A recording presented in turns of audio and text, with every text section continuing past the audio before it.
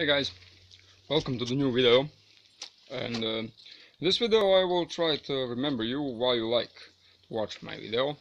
Uh, I think because uh, I'm the one person, uh, sorry about light, one person uh, which uh, make a video with the stuff from with the stuff which other people don't want to recycle because he think it's a waste of time.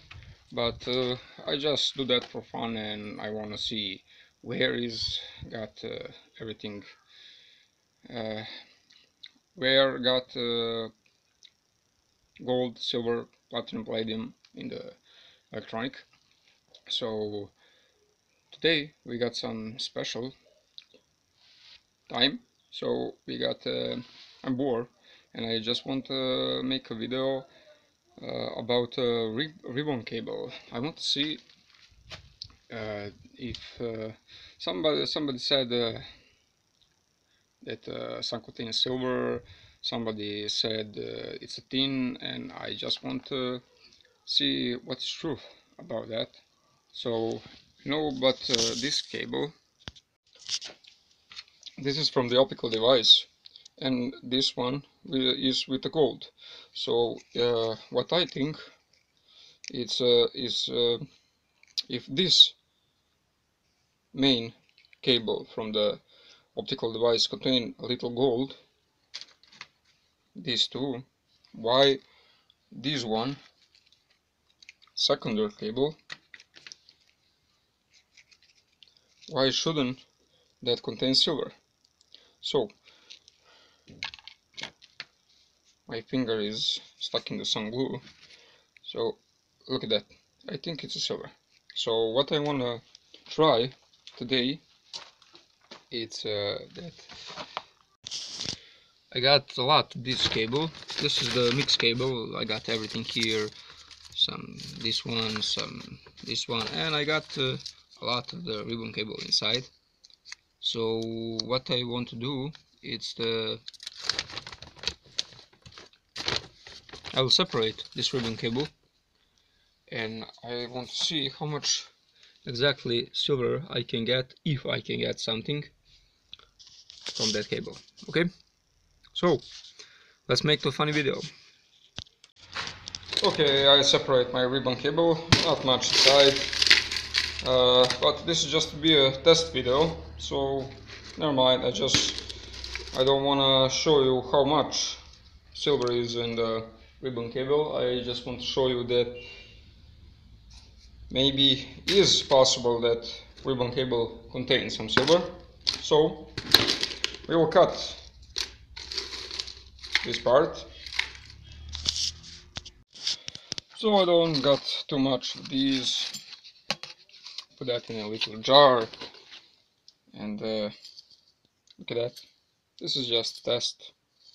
So what we're gonna do first is that we add just a little nitric acid just to cover all that. And look at that we already got some reaction. Crap. So probably First I will need some catch pan, but never mind. I'll be back when I finish all that. The reaction is stopped, So I put my gas mask. I forgot uh, that uh, this stuff is the practical the same like the Goldfinger. You got a copper underneath. And uh, so look at that. We got some blue, bluish liquid. We got some, uh, all the fingers is already dissolved, but uh, I got a couple of stubber pins, uh, finger. So I just wait a little more to dissolve all that.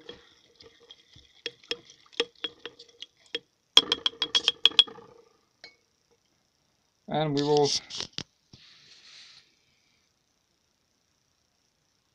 we will add we will filter that solution and then we will add uh, some hydrochloric acid to test if that they're silver in solution. Okay? Now we filter this solution. We got nice uh, blue solution. Got some copper in it and see that finger? It's all clean. No silver reflection on it.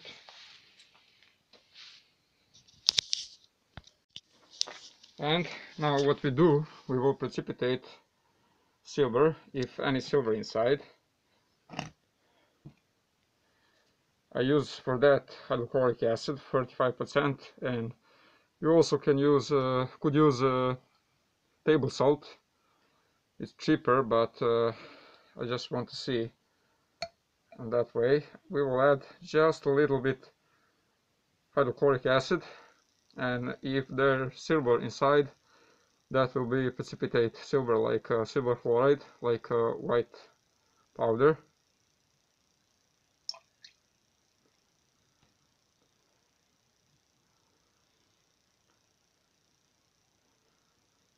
So what we see that there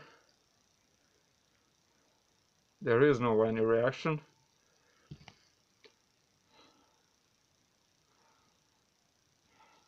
Because uh, just a little HCl is enough to precipitate some silver. And uh, I don't see any white trace. So probably they don't got anything inside. So the test is a failure and uh, there is no silver in the ribbon cable. It's probably just tin or uh, nickel. I don't know. Maybe it's nickel. Probably it's nickel and tin. But it's be a funny test and uh, this solution this solution is not a waste solution because still I could I could use that like aqua regia. So I will just cover this jar and uh, put on the side and I use that when I dissolve some base metal or uh, gold or everything I don't know. This is not waste. So okay. See you around guys